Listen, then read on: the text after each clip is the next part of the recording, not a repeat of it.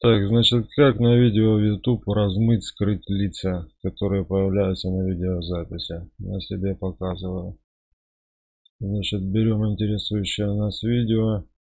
Под видео есть кнопочка «Улучшить видео». Кликаем на нее. Кликаем на нее.